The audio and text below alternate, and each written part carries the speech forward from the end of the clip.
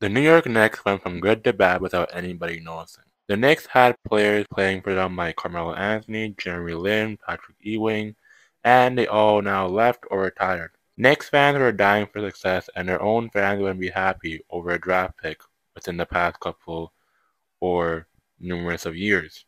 But some of their draft picks have been pretty good. And moving on to today's era of Knicks basketball, they really have a good team with success from last season.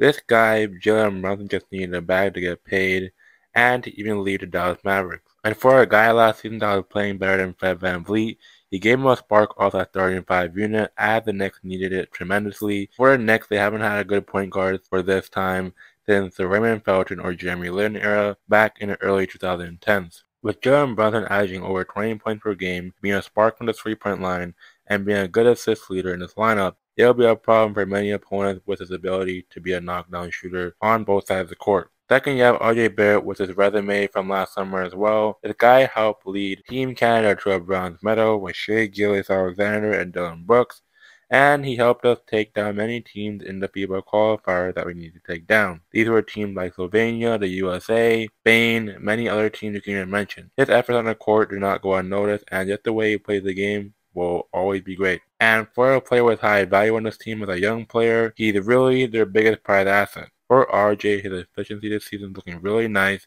and it had to have some New York Knicks fans very happy and impressed on his development. With Mitchell Robinson, Immanuel Quickley, and Quentin Grimes coming back to this team, the scoring on this team will be very good and productive for both units.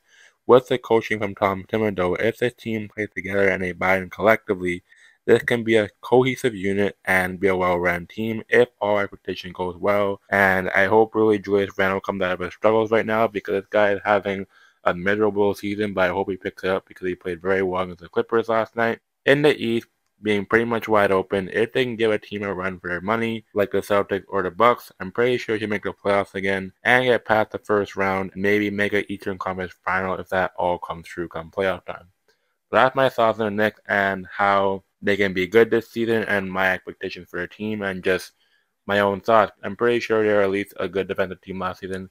They're pretty much a, a well-run offense, and Tom Thibodeau always had a good team that are very ran on defense. So that's what I gotta say for Knicks basketball, and I'm out. And if y'all want more videos on other NBA teams, let me know, and I shall do them.